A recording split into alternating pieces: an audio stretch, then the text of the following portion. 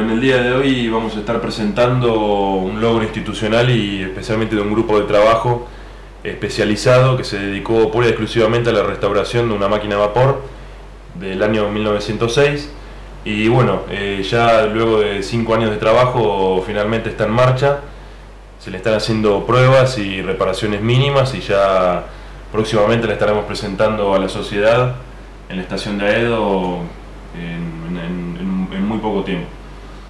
Bueno, el grupo de trabajo a los que hacía mención eh, Santiago está compuesto por cuatro socios del museo, eh, que son Lucas Romano, eh, Facundo Morando, Matías Muse y Julio Steiner. Ellos se dedicaron exclusivamente a la, locomotora y bueno, después ha habido siempre algún grupo de, otros socios que los han ayudado en algunas tareas un poco más pesadas. Bueno, seguramente cuando vean las imágenes se van a entusiasmar y por eso los invitamos a que, conozcan a 2037 eh, acá en el museo. Pensar que esta máquina de ser originaria para el puerto de White, para Mayorar, terminamos piloto de Plaza Constitución. Se fabricaron cinco. Cinco de la serie 13. De la serie 13. Originalmente para el puerto de White. Esta fue la última que quedó la, última el Ministerio de Guerra tuvo una. El Ministerio de que tuvo un campo de mayo hasta que se remató. Cervecería Materia Hudson. En Hudson estuvo otra que casi nos sacan a los tiros. Eh, también. Eh, que bueno, ya no queda nada. No hay otro registro. Después, cuando se la ve baja de constitución, en realidad se la ve baja porque la máquina no podía funcionar más. Eh, ya estaba. Problemas mecánicos. La vida útil se había terminado se hace para la exposición del 68 una restauración estética. Ya en época de ferrocarriles argentinos. Sí, sí, ferrocarriles argentinos. Se muestra la exposición del 68 y después se lo lleva con el resto de material, por ejemplo con, los ferrocarriles, con los trenes del económico correntino. Termina la nave de. Más luego, en la utilización de queda la intemperie, hasta el año 2005 aproximadamente. La recibe la institución. Que es donada a la, a la institución Ferrocarril Argentino más luego.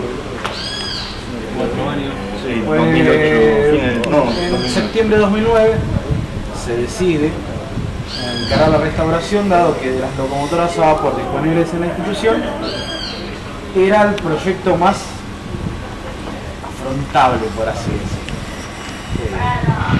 no obstante, recién en julio de 2014, después de prácticamente una reconstrucción, la máquina pudo el trabajo de restauración, pese a que era una máquina bastante alcanzable, o sea, en términos técnicos estaba más lograble que otras unidades que tenemos, no, fue sencillo todo el tema de la puesta en servicio dada que la radiaron por problemas mecánicos muy graves.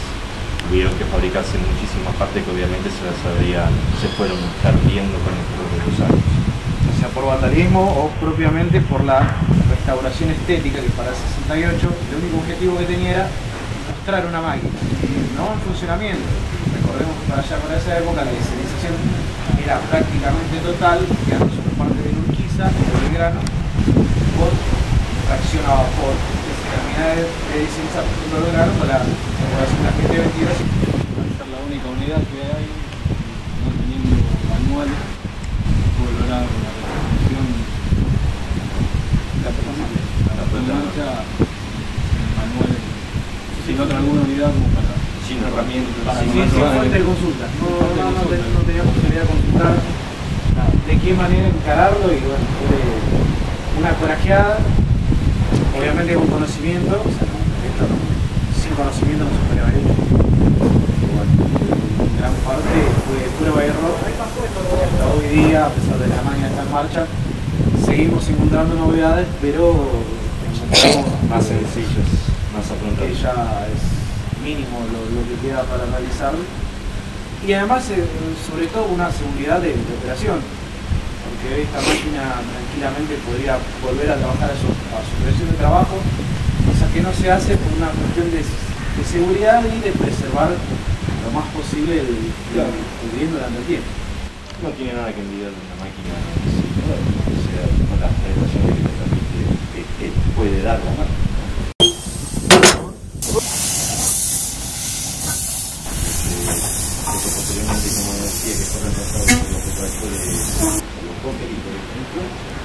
De los ejes, este, tienen un esfuerzo de tracción bastante, bastante superior en algunos casos, justamente por un tema de peso por eje y de esfuerzo de tracción en sí por la potencia de los motores. Todo también en relación a la presión de caldera. ¿no?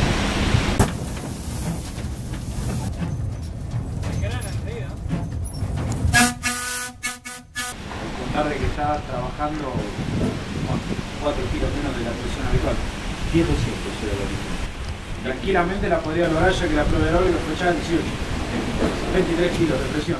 La centrifugó la presión de trabajo. La- Tranquilamente podría trabajar a presión normal sin ningún correr, ya que sea, el fin de la institución es la preservación del vehículo la- para demostrarlo. o sea, no es necesario volver a castigarlo o someterlo a las condiciones criminales, es simplemente una muestra de cómo fue la Contraloría de la Argentina, es lo que fue. Cabe destacar que A 6 kilos de presión pudimos mover 4 vehículos. Hoy por hoy podemos decir orgullosos que recuperamos gran parte de, de la historia del ferrocarril sur. No- que era desconocida, porque todos recuerdan las grandes máquinas, pero las máquinas hacían el trabajo de hormiguita que nadie recuerda. Siempre se recuerda al, al jugador estrella, pero no al laburador que viene detrás. Nada, es el orgullo de tener una máquina a vapor nuevamente en Aedo, meca ferroviaria por excelencia, que lo había perdido ya hace más de 40 años seguramente. No puedo precisar la fecha, pero es un hito histórico y una alegría, creo, para todo, todo el pueblo de Aedo y para los ferroviarios en general.